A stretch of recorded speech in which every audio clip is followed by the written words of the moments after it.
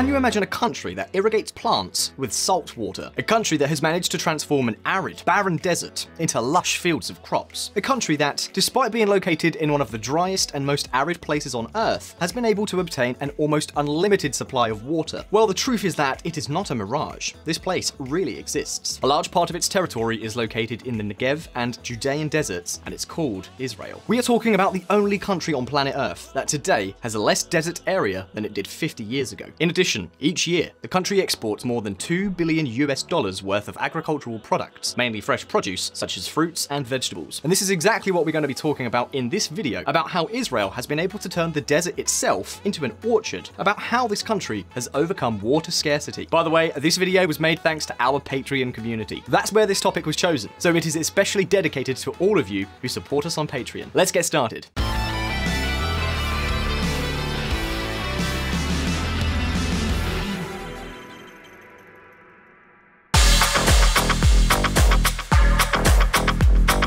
Confidential US National Intelligence Council report released in 2012 and later partially declassified pointed to a future water crisis, a huge global water crisis. According to this report, water consumption is above any sustainable parameter. There are more and more of us, and we use more and more water. We consume more meat, have more gardens, more swimming pools, and consume more energy. These are all things that, believe me, require a lot of water. For example, producing one kilo, just one kilo of meat, consumes 17 times more water than producing one kilo of corn. Thus, the report agreed with other expert information that more than 20% of the world's population, more than 1.5 billion people, will suffer greatly from this water crisis in the coming decades. That's 1.5 billion people who will have serious, very serious problems in accessing a regular water supply. We're talking about a crisis that would threaten the entire global food supply. And don't think for a moment that it would be limited to punishing the poorest countries. For example, the San Joaquin Valley in California, the heartland of California's quality agriculture, could disappear, at least as we know it today. And that's, that's what has led us to a key question in this video. Are we all doomed to water scarcity? Well, I think that the time has come to take a look at one of the most arid and barren places on the planet.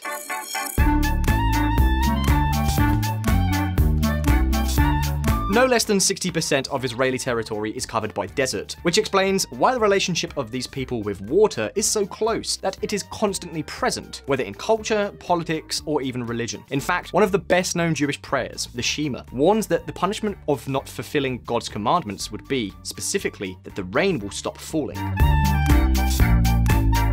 Despite this, as I'm sure you all know, Israel is a prosperous country, a major agri-food exporter, and has an abundant and guaranteed supply of water. In fact, it even supplies water to its neighbors. So, the question, the big question we can ask ourselves is, how on earth have they managed to overcome water scarcity? What can other countries learn from Israel? Are we facing a future with water or a future of thirst? In this video, we're going to answer all these questions, but first we have to start at the beginning. We need to look at a little bit of history. The arteries of Israel. In the late 1920s, economists advising the British government, which at the time controlled this territory, stated that the immigration of more Jews to Palestine was not sustainable. And it was not sustainable because, according to their calculations, the water resources were so limited that it was impossible to sustain more than 2 million people. Yes, I know, today there are more than 14 million. You know, expert forecasts. The fact is that from that very moment, the Jewish organizations in the area understood that their future depended on increasing water resources. They had to find water at all costs for the fields, for the new settlers that might arrive, and in order to be able to build a new Israel. But there was a problem. Most of the country was desert, arid, and dry. The available water resources were concentrated in the north, but Jews were settling mostly around the region's new big city, Tel Aviv, located in the center of the country. So, to resolve this conundrum, following the publication of the British report in 1939, one of the country's most renowned hydraulic engineers, Simcha Blass, a Polish immigrant, was commissioned to design a water plan. It was nothing short of the plan that was to guarantee Israel's future. And you know what? No sooner said than done. That is exactly what he did. Displaying all his ingenuity and daring, Mr. Blass designed a three-phase plan. Basically, the plan that was implemented over decades has made Israel's demographic and economic takeoff possible. You see, the first phase consisted of extracting water by drilling deep boreholes. Simcha Blass was convinced that under the subsoil of Israel, even in the areas as arid as the Negev desert, there was water. So he set out to find it in order to supply new farms. Of course, even if successful, such an operation would not be enough. The country would have to use every last drop that was available. That is, they had to move the water from where it was relatively abundant to where it was needed. For this precise reason, the next two phases were centered on this idea. The second phase aimed to pump the water from the Jordan River, the most important river in the region, to the southeast, even reaching the Negev Desert itself, an uninhabited area where new settlers would be able to settle and grow their crops. But by far the most significant part of the plan was the third phase, the construction of the National Aqueduct. We're talking about a huge diversion of more than 100 kilometers that was to transfer water from the north of the country, particularly from the Sea of Galilee, to the largest freshwater lake in the country, to where it was needed, while also connecting the resources developed in the previous phase. In other words, what Simcha Blass proposed was a huge investment plan to create the arteries of Israel. That is, a huge water system that would guarantee access to fresh water throughout the country. And take note, because if there was one thing that was clear, it was that implementing this plan was urgent. Look at this.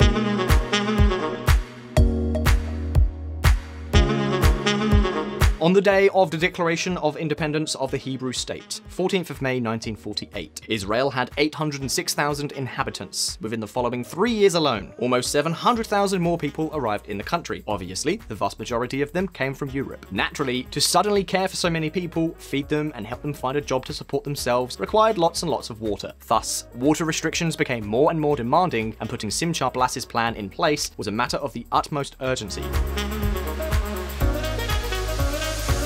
The problem is that it took a lot of money, and we're not exactly talking about a country that was rich at that time. Not to mention that the few resources available to the fledgling Israeli government went largely to security and defense. So, the question was, how to get it done? Well, it was here that the then Prime Minister of Israel, Ben Gurion, made one of the most controversial decisions in the history of Israel, a decision that could even end up leading to a civil conflict.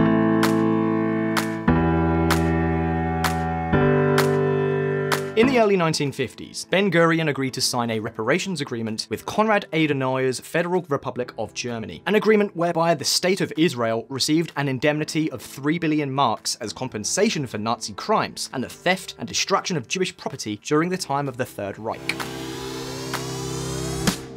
it was tremendously unpopular. Accept compensation for such a pain? Many Israelis felt that their pain was being bought, that one of the most tragic events in human history was being commodified. By the way, if you are interested in military history, let me take an opportunity to recommend this video about the Second World War, just published on our sister channel, Visual Academy. You can watch it in full by clicking the link in the description. And now back to our video. There were protests, demonstrations, violent clashes with security forces, and in the end, the Knesset, the Israeli parliament, approved the agreement agreement by only two votes.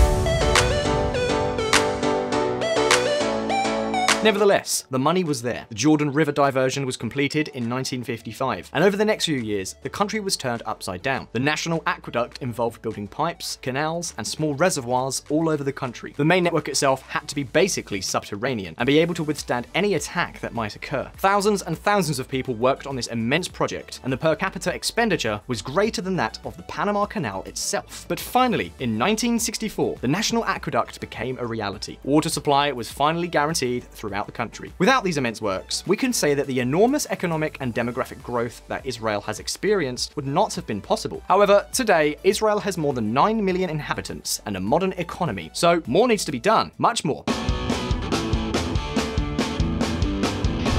Israel needs more water.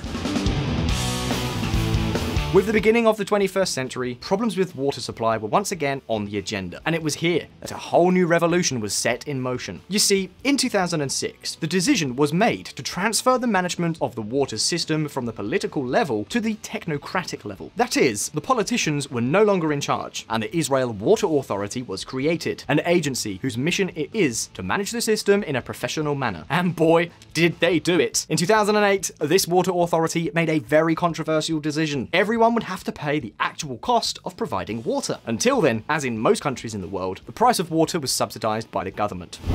People understand that water is a treasure, but they don't understand why they have to pay for it. They see rain and they think water is free, and they are right. The water is free, but safe, reliable, always available water is not free and cannot be free. Building infrastructure is not free. Senior member of the Israeli Water Authority. The measure had two very clear objectives. On one hand, to promote saving water. You know, if you have to pay more, you use less. And on the other hand, to increase the system's revenues to be able to build more infrastructure and improve its maintenance. But that was not all.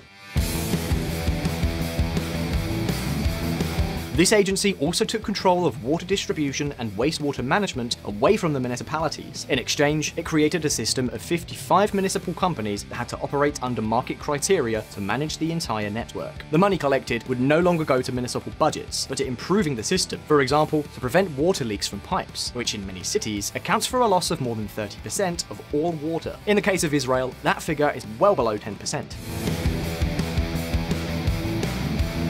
This way, if a mayor wants to water the municipal parks, he no longer has free water to do so, and he has to pay the real price. At the end of the day, the measure was a complete and resounding success. Without having to limit supply, public and private residential water consumption fell by almost 20% nationwide. For example, in parks and gardens, many plants were replaced by species that were better adapted to the area and consumed less water. And then in agriculture, the same thing happened. But that's not all. To boost water innovation, the government set up plans to support investment in innovation by these new companies. The idea was to turn Israeli cities into veritable water laboratories. Companies compete for funds, while innovations allow them to improve their bottom line. And so that's exactly how the drought was beaten again during the early years of this 21st century. But you know what? We're not done yet. It is one thing to avoid drought. It is quite another to have all the water you want, and moreover, to turn it into a big business. And that's exactly what Israel has achieved. Listen up. Ingenuity is the key.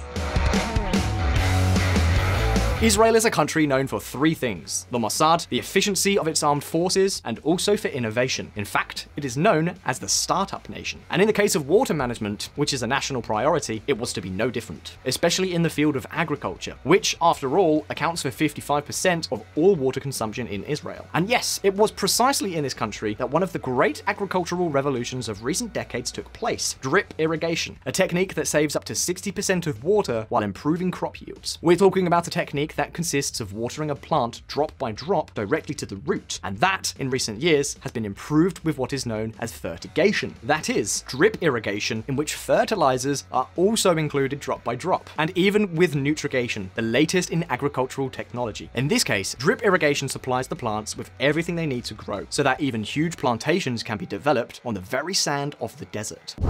With nutrigation, crops can grow anywhere. Desert sand can be used to hold the plant in place, and nutrient water is administered by drip irrigation that takes care of the rest. Rafi Mehoudar. And they are even now introducing tiny devices that are placed on the roots and detect when exactly the plants need to be watered. Well, the fact is that all these technologies have been developed mainly by Israeli companies. But that's not all there is to it either. Another field in which the Israelis are particularly good is seeds, both traditional and genetically modified seeds. This has allowed them for example, to reduce the water consumption of each plant. And they have even developed seeds that can be irrigated with slightly salty water, such as brackish water, which is a type of water that is found in large quantities in the subsoil throughout the Middle East, but which was always thought to be useless. Yes, that's right. In Israel, you can find melons, tomatoes, peppers, or, I don't know, eggplants, among many other kinds of fruits and vegetables that are irrigated with a mixture of fresh water and salt water. But wait, there's more.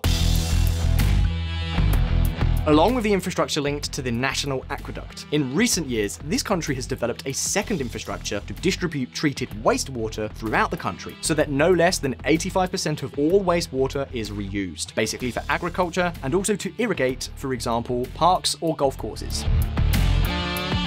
Believe me, there is nothing like that in the rest of the world. To top it off, Israel has also become one of the world leaders in desalination technology. In fact, one of the largest plants in the world in terms of volume and efficiency is located in the Tel Aviv area, the Sorek plant, which is capable of processing more than 600 million liters of water per day. And this is how Israel has overcome the droughts that have plagued this region of the world for millennia. Israel, a country located in dry, arid terrain, now has all the water it could ever need. It even supplies water to Palestine and Jordan. All this has been achieved through engineering, innovation, and also, very importantly, the use of the pricing system. But having reached this point, it's your turn. What do you think of Israel's commitment to water supply? Do you think this is the way forward to avoid water crisis? Leave us your answers in the comments, and if you found this video interesting, don't forget to give it a like. And before I finish, thank you very much to all of you who support us on Patreon. I really hope that you liked this video that you chose. Best regards, see you next time. And if you want to learn more about politics and hear even more of my lovely voice, you can join us at Reconsider Media. We have a podcast at reconsidermedia.com slash podcast. See you there.